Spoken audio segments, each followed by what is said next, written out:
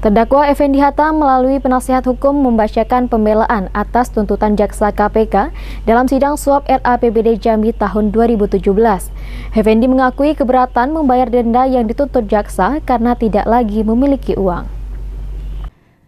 Selasa pagi sidang lanjutan kasus suap pengesahan RAPBD Jambi tahun 2017-2018 dengan terdakwa Effendi Hatta, Zainal Abidin, dan Muhammadiyah kembali digelar.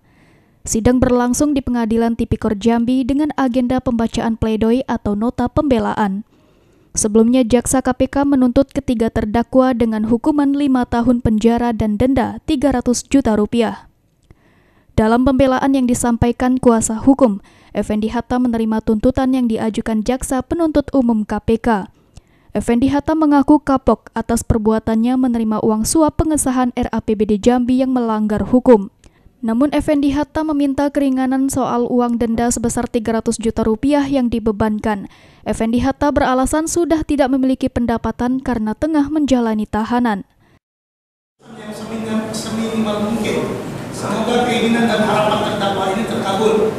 Dua, bahwa terdakwa juga menerima hukuman denda yang dijatuhkan kepada terdakwa atas kesalahan terdakwa yang telah mengakibatkan kerugian negara.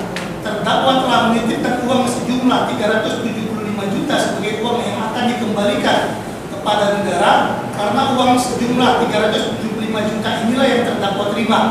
Dengan rincian uang ketok palu 2017 sebesar 200 juta dan uang tambahan untuk komisi 3 sebesar 175 juta. Sehingga total 375 juta yang dikembalikan agar kerugian negara segera pulih. Namun terdakwa mohon kepada majelis hakim yang mulia agar mengurangi jumlah denda yang dibebankan kepada terdakwa Jaksa penuntut umum KPK menetapkan denda sebesar 300 juta. Jumlah ini sangat memberatkan terdakwa. Oleh karena itu mohon kepada majelis hakim yang mulia untuk mengurangi jumlah dendanya. Kliva Patria, Jack TV melaporkan.